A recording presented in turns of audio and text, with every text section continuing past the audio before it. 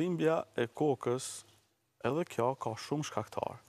Deri vonë nuk është pranu si diagnozë mjekësore kokëdhimbja cervikogjene. Është shkencëtari neurologu norvegjez në vitin një mijë e nëntëqind e tetëdhjetë e tre ka bë punimin shkencor dhe e ka shfaq e ka publiku në revistën Po emri tani po më kujt, Cefalalgia është revista mjekësore dhe është pranu pasaj si diagnozë mjekësore. Dhe një pjesë shumë e madhe e migrenologëve që merren me migrenën që e studiojnë, pajtohen që shumica e migrenëve, dhimbjeve të kokës, janë me etiologji ose me prejardhje nga unazat e qafës. Migrena nuk është diagnozë, migrena është një simptom i një diçkafit. Kur nuk dihet se çka është tu ndodh, ja japim emrin migrenë.